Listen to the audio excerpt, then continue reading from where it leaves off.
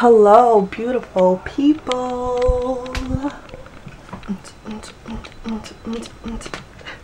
Well, today is Friday, February 9th, and this start this is the day that starts my fashion week. So, got up this morning. I thought that I had an event at 11:15 to see Eva Chen speak at the WWD Style Dimension at um, Samsung.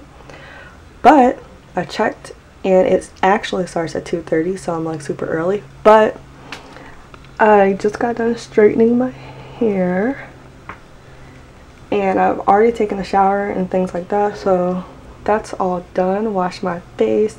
I just need to moisturize, do all that stuff, do my makeup and then I'm out the door.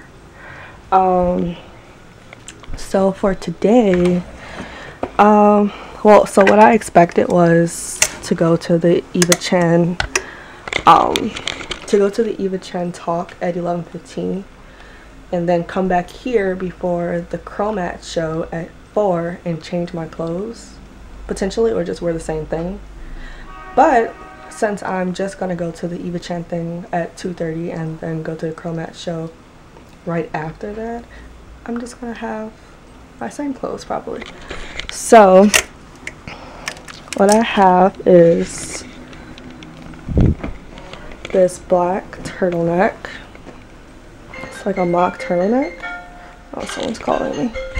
Anyway, and these joggers. So I'm like super excited with these black heels here. I'm back and I'm all dressed. I did my makeup I'm wearing the turtleneck that I showed you guys with the um, like gray joggers. Probably see it better here.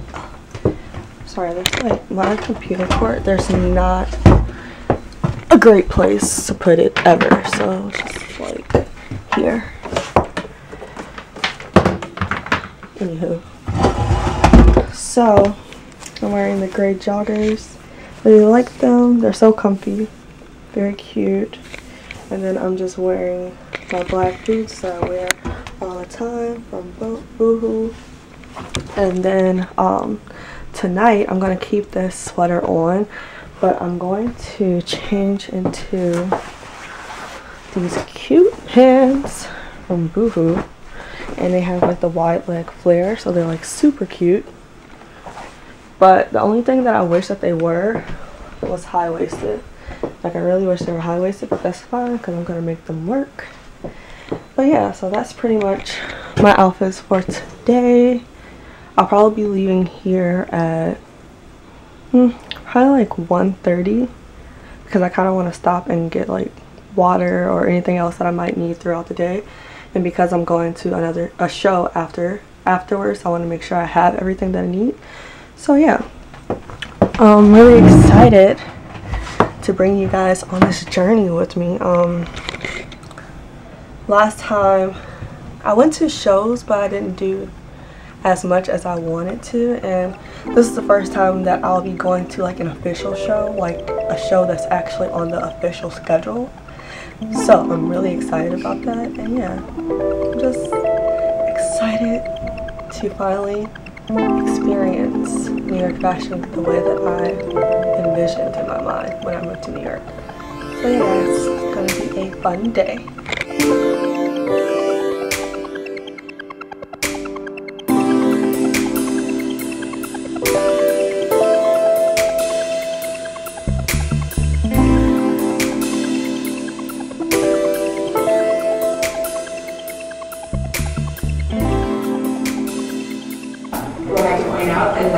Trying to make me that point out. And um, so in my job, I work with models, we work with models, designers, stylists, fashion publications like Women's Wear Daily, um, anything really that touches the fashion world, we're basically like the in-house Instagram like brainstormers. We're helping them understand how to use Instagram better. Because you know, there's hyperlapse, there's stories, there's live, there's so many things going on with Instagram that people sometimes get a little overwhelmed, so we are there to coach them through it. Be honest, all, every time that you and I meet, I leave feeling so energized and full of new ideas. It's, it's true. It's true. So how do you? How many years has it been? Five years since Instagram launched. Seven. Seven. Plus, I'm looking at Ashley. Is it Ashley? It's over seven years, Seven years. and 800 million people on Instagram. Oh um, my God. And you know, fashion is so huge on Instagram. People, Right. Like the fashion community, whether it's designers or models or you know bloggers, it's just fashion is so vibrant on Instagram, and I am really grateful that the fashion community is just so. It's just such a great community on Mhm. Instagram. It's very supportive. I'm always discovering new designers and new voices and new talent and new models. So um, it's a great department to work in. How do you think Instagram has changed fashion as an industry? Well, I think fashion's become so much more democratic. I mean, you, you and I both worked in the industry for quite a while, and I remember when fashion was literally like, you know, if you, you, were either invited or you were not invited. And if you weren't invited, you found out about fashion like three to six months later when it came out in a magazine or a print publication. And now, you know, those velvet ropes are down. Like it's you're you're part of the crowd. You're able to participate and connect with people. Like if any of you guys are Instagram living this or you know posting this on stories, your followers, they live in Tokyo or Tulsa, are feeling like they're part of the fashion community.